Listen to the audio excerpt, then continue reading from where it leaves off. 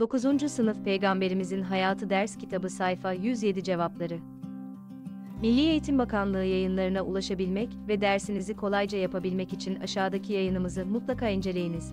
9. Sınıf Peygamberimizin Hayatı Milli Eğitim Bakanlığı yayınları ders kitabı cevapları. Sayfa 107 Allah, o inkar edenleri hiçbir fayda elde edemeden öfkeleriyle geri çevirdi. Allah'ın yardımı, savaşta müminlere yetti. Allah güçlüdür, mutlak galiptir. Ahzab suresi 25. ayet.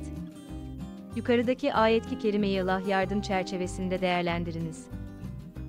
Cevap: Allah inanların, kendisine iman edenlerin her zaman yanındadır.